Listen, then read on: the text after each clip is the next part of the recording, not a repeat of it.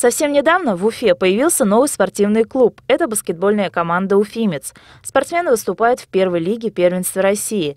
За команду играют как школьники, так и опытные игроки. Об этом на брифинге рассказал генеральный директор новоиспеченного клуба Сергей Медведев. Когда мы объявили э, просмотр игроков на него пришло 44 э, человека в один спортивный зал. То есть это говорит о том, что э, проект интересен. И, в принципе, любой уфимец, любой житель республики может попробовать свои силы в баскетбольном клубе. Наши двери открыты для всех.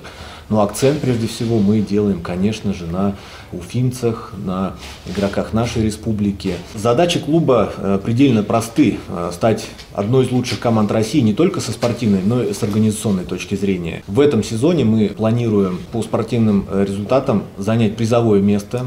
Одной из приоритетных задач команды является то, что за уфимец будут играть исключительно местные воспитанники. Так, капитаном команды стал 33-летний Андрей Трушкин. В свое время он выступал за такие клубы, как Казанский «Уникс», Пермский «Урал Грейд» и многие другие.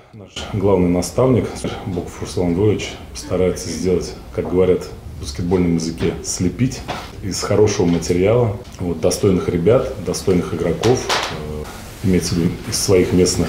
Смогу, помогу, чтобы наша команда развивалась и шла постоянно в призерах.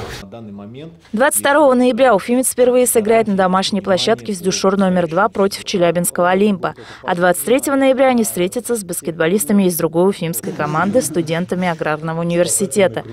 Альфия Алиасова, Роман Нагуманов, городской телеканал ЮТВ.